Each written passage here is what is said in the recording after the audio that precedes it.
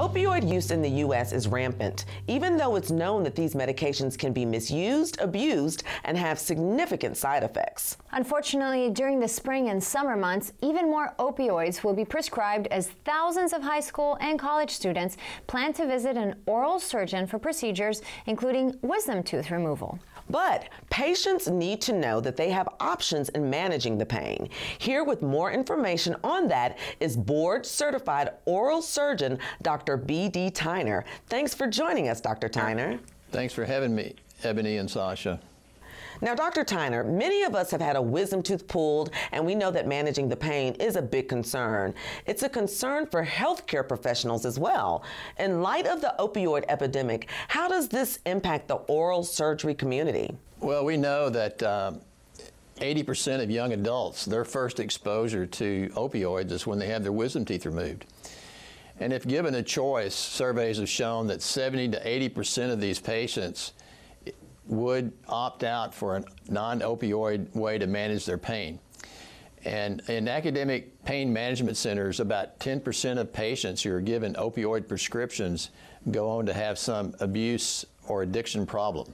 Now, in your practice, you regularly use a non opioid medication for oral surgery. Tell us about that. So, in our practice, um, for the last nine months or so, we've been using a new drug called Exparel. It's a non-opioid way of managing postoperative pain after wisdom tooth extraction.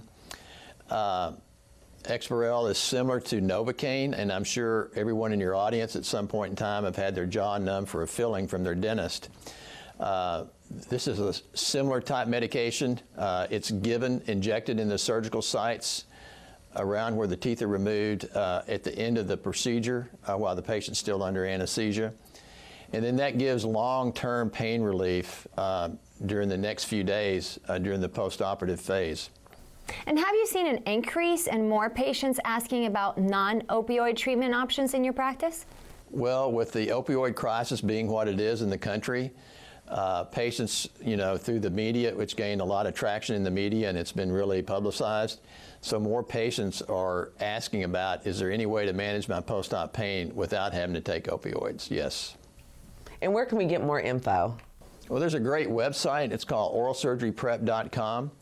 I would encourage uh, patients or parents or caregivers who are contemplating having this surgery this summer, go to that website. There's several suggested questions on there that you can download and print out.